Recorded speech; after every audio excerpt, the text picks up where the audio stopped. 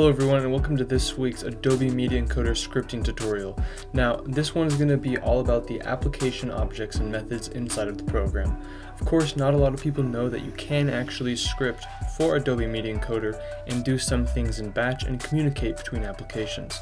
So today we're going to be going over the sort of global Adobe Media Encoder application objects and properties that allow us to do a lot of things and branch out into other aspects of it.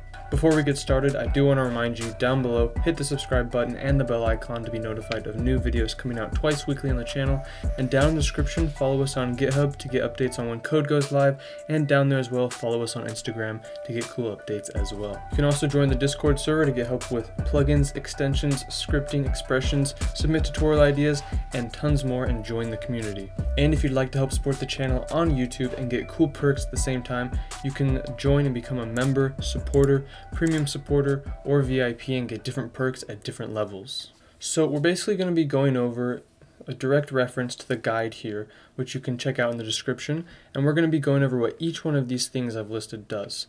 You can use these basic properties or methods to begin understanding how scripting in Media Encoder works, as well as use some untested methods to see what they do as well. So we're looking at first in this video the application object, all of the attributes and methods that are useful. First, we have the app.launch time. This is going to give us the number of time in seconds that it took Adobe Media Encoder to launch. Let's say you're working on a project where you need to communicate between, say, Premiere or After Effects and Adobe Media Encoder. Well, in this case, it may be useful to understand how long it takes to launch the program. That way, you can actually wait for that period of time or do some kind of operation after that period of time. So that's a very useful attribute and basically the main one for the application itself. Then we have something called app.getFrontEnd. Now the front end is its entirely own object, which you can go in and check out yourself, but essentially it allows us to add items to the render queue, aka batch. So we can use things like project names, formatting, different presets of the uh, formatting we're going to use, and this will allow us to basically add and manage all of the batch stuff inside of Adobe Media Encoder. So you can use this and get an object in return. You can just call it like front end and that will then be equivalent to this front end object which you can then go into the guide here and check out further. Of course I'll be making more videos on these other things more specifically in the future, but for now we're just going over the application objects and methods itself. Next we have app.getExporter. Similar to the front end, this is going to return an exporter type object. This will allow us to access and modify the render queue itself.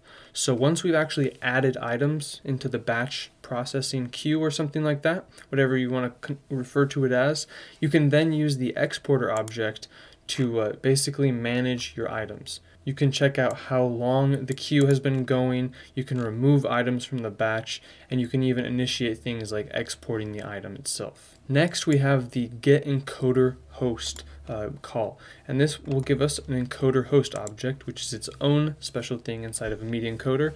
This, and this allows us to control and query the render queue.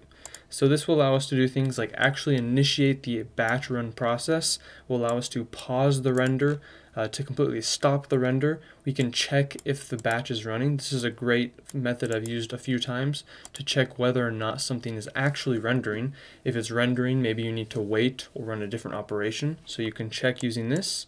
And there's lots of other useful things here that will control the actual actions of Adobe Media Encoder's render queue. And lastly, we have a few more simple and easier to understand uh, methods which will do obvious things. For example, app.quit will quit Adobe Media Encoder itself, of course, when you run within, this, within the program. If you use app.quit for After Effects or in Premiere, it's going to close that application most likely. So make sure, of course, you're referencing Media Encoder.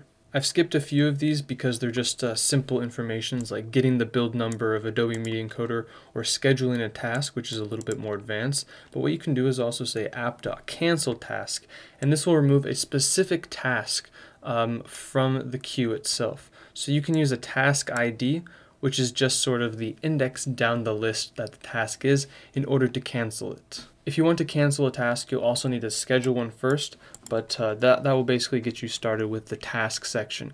And then two final things which are uh, untested according to the guide. And these are kind of homework for you if you want to go off and test it on your own. Come back and comment on the video and uh, we'll figure out what exactly they are. But we have get watch folder. Does it require an argument? I'm not sure. Unknown parameters and an unknown return. But this maybe will open up something to allow us to get an actual watch folder and maybe detect whether it has different amounts of footage or something like that.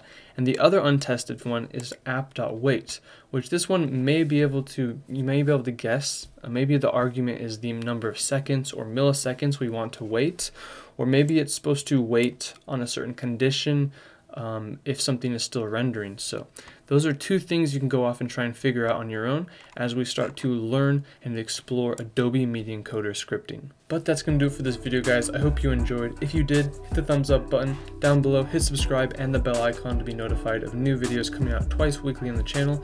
And down in the description you can follow us on GitHub and Instagram to get updates on when code goes live as well as cool other things. Make sure to join the Discord server and get your questions answered or help others and join a thriving community of scripting, extensions, plugins, and expression people. And of course, be sure to join the channel on YouTube and help support us at the different levels of VIP, Premium Supporter, Supporter, or Member and get cool perks as well as help us out. Thanks again for watching everyone. We'll see you next time.